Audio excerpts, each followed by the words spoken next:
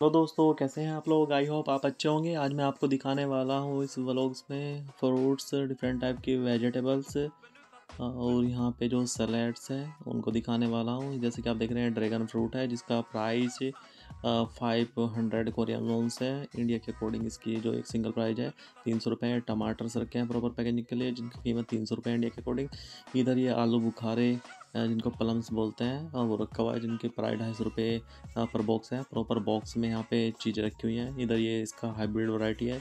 इधर ये another fruit रखे हुए हैं। इधर ये ग्रेप्स हैं। ग्रेप्स का प्राइस छः सौ रुपये के आसपास है। इधर ये जेंसिंग रूट रखे हुए हैं जिसका प्राइस तीन सौ रुपये के आसपास है। इधर ये जो चिड़िया होती है, उसके एग्स रखे हुए हैं। तो आप देख सकते हैं कि यहाँ पे चिड़िया के एग भी खाए जाते हैं और बिकते भी हैं काफ़ी। इधर ये छोटा जो खरबूजा टाइप का फ्रूट्स होता है रखा हुआ है।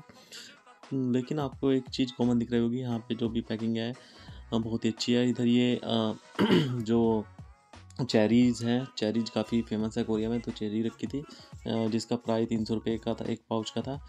तो एक चीज़ आपको देखने को मिल रही होगी, यहाँ पे जो फ्रूट प्रॉपर पैकेजिंग किया जाता है, इधर ये कद्दू रखे हैं, छोटे कद्दू, इधर ये पत्ता गोभी है।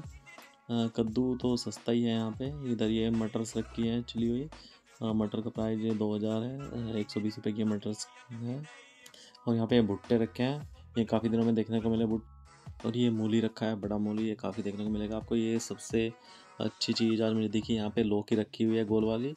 जो छः सौ रुपये की एक लौकी है, इधर ये खीरे रखे हैं, यहाँ पे खीरे दो वैरायटी के मिलते हैं, एक हाइब्रिड खीरे, एक देसी खीरे। खीरा तो सस्ता ही है यहाँ पे। तीस रुपये के तीन खीरे हैं। इधर आलू रखे हैं, आलू भी सस्ता ही है। चालीस रुपये का एक के जी आलू है। इधर ये प्याज रखी है, यहाँ पे प्याज हर चीज़ में यूज़ होती है। प्याज भी आज सस्ती है। सात सौ नब्बे रुपये की है। तो पचास रुपये के आसपास प्याज है इधर ये सैलड्स रखे हुए हैं। यहाँ पे सैलड्स में काफ़ी वैरायटी के पत्ते यूज़ किए जाते हैं। अक्सर इनको लोग खाने के साथ में इनमें राइस रख के खाते हैं कोरियन पीपल इससे इनकी हेल्थ काफ़ी अच्छी बनी जाती है। काफ़ी आयुर्वेदिक में भी इनसे काफ़ी मेडिसिन बनती है इन सब प्लांट के लिए से तो आप देख सकते हैं कि किस तरीके से कोरियन पीपल की जो लाइफ होती है काफ़ी ज़्यादा होती है। Hundred one two twenty normal life होती है यहाँ पे। आई होप आपको ये ब्लॉग काफ़ी पसंद आएगा शेयर करिए लाइक करिए।